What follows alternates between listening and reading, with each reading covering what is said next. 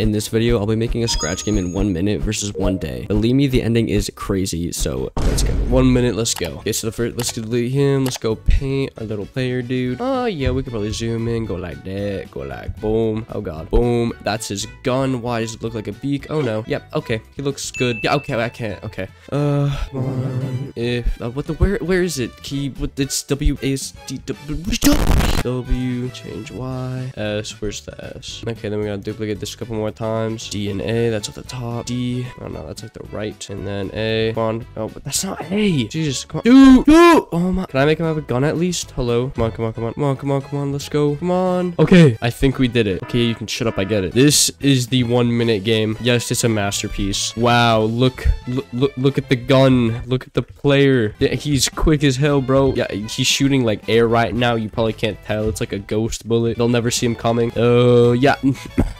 yeah, next game. So 24 hours, let's begin. All right, so we can delete Scratchy, but I can't make the art in here. I want it to be pixel art. So now we're in Aseprite where we can make our pixel art and I'll be back when I'm finished. So here we have our guy in our animation. I don't know about you, but this guy looks kind of familiar. Yeah, let's not worry about that too much. So let's export it into Scratch. And now this is when he's facing the right. So I'm to do R, R, and I'll be back when I'm finished making the left. And so now we have our animation here and our animation here. I'm to name him to player, go back to the code. And so now I can code the movement. And if I clicked forever, if key space W, then I'm to make speed X, speed Y for all variables. Set both these guys to zero on begin. And if W, change Y by, we'll go like three and then do right click duplicate if S, negative three. And I'm going to set Y speed to times 0.75 itself Y speed. And then just change Y by Y speed. So now if we go up here and press play, let me just put him to zero, zero real quick. There we go. We can see that he moves up and down really smoothly. Maybe a little bit too smooth. I'll do like 0.6. And if we go like this, boom, perfect. Now I can just get rid of these and I'll copy the same thing for the horizontal X speed. Now that we're all done that, we can go back here and whoa, that's cool. We can got him moving around. I think he's a little bit slow, so I'll go like four, four, negative four, negative four. And to keep everything organized, I'm gonna make player speed and player friction. I'm gonna set player speed and I'm gonna set player friction to 0.6 and four. So if I do, I can get rid of both of these. Player speed can go here, player speed can go here, and then I have to do a negative player speed because it's negative four, and then put the friction in for this. It's just so I can change the player speed and everything a little bit easier. So now if I go back in here, now it still works the same. Beautiful. But what about the animations? This is important. This is what I'm going to be using here for the animation. I'm going to change costume by one. You'll see why that's going to be the speed of the animation. And I can do when grip clicked forever if I'm going to grab the mouse X. If mouse X is greater than zero, I'm going to switch the costume. It's going to start at one and then it's going to rotate down to two. Do I know what this all is? No. Am I going to explain it? No. So if I do this, he's on my right. We can see that he plays the animation and it's really fast.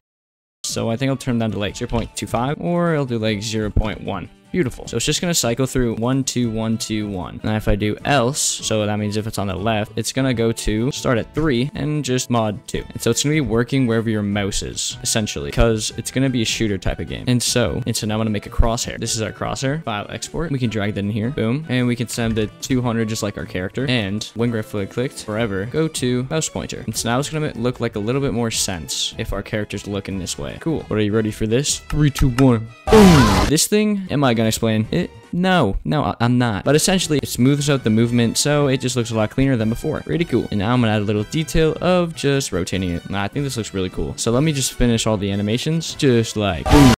Now we can see we have animations for every single thing, I guess. Yeah, pretty cool. I don't know, it looks pretty good. Also made like different eyes, so now they like look at me. Pretty cool. Now little bro looks happy. Let's go. Now I need to give him his gun, which it would make sense for it to be white, so let's make it white. And so ready.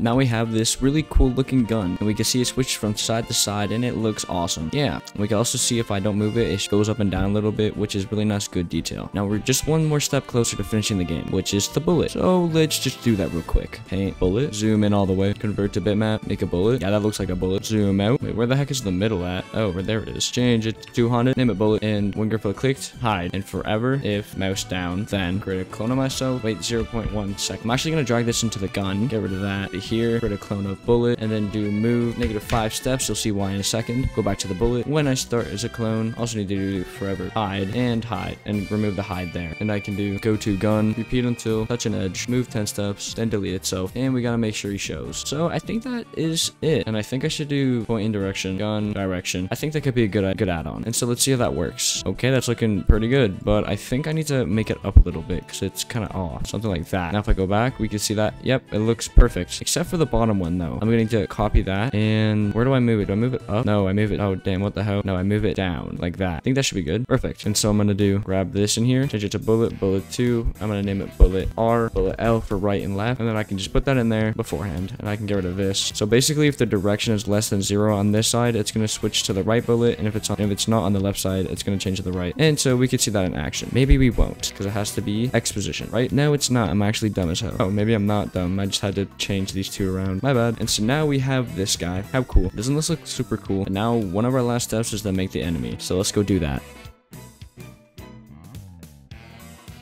So now that I have the slime animations, I can begin coding their AI. So very simply, since this is just a test, I'm not going to make clones. I'm going to do one play click, oh go to 0, 100 at the start, and repeat until point towards player. Wait a second. Also have to start jump. And then we're going to do push a jump 2, wait 0.1 seconds. And instead of that, I'm going to do next. And I'm going to repeat that, I believe, six more times. Well, I guess, yeah, six. So let's just see what that looks like. Oh, what the freak? Set rotation style to don't rotate. So we can see this guy jumping towards us. Pretty simple and cool. He almost looks like a rock. Yeah, he's definitely just a run. So now I could just take all this, do create clone of myself. I don't know, I could like repeat that like, I don't know, three times. And then I could do when I start as a clone, but I'm gonna have to do hide and then show. And I could just do go to random position. There we go. We have our slimes that kind of look like a rock.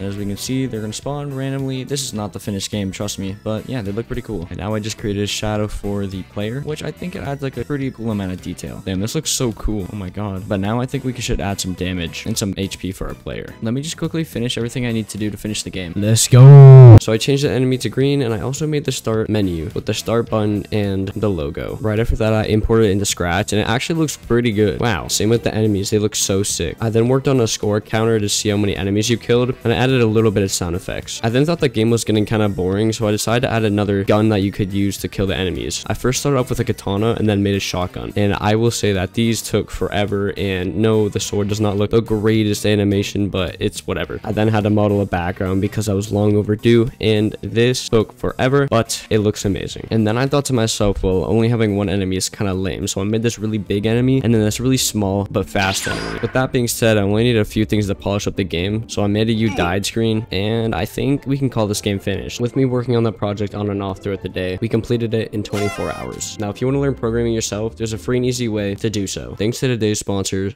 Brilliant. Brilliant has thousands of lessons from hard foundational math to easy computer science and programming, with tons of new lessons added every month. With their interactive learning, it is so much easier to understand the problem at hand while you can master science, math, and computer programming just from using their course only 15 minutes a day. My personal favorite is CSM programming because coding has been one of the loves of my life. Learning from observation is proven to be the best way to learn rather than letting your boring math teacher yap for an hour and 15 minutes a day. If Brilliant sounds like it's for you, try everything Brilliant has to offer for a full free 30 days, visit brilliant.org slash Scratch or click on the link in the description. The first 200 of you will get 20% off Brilliant's annual premium subscription. Thanks again for Brilliant sponsoring this video. Now back to the challenge. Without further ado, I present to you Shooter. By the way, if you want to play this game for yourself, link in the description. And if you made it this far, you may as well like and subscribe.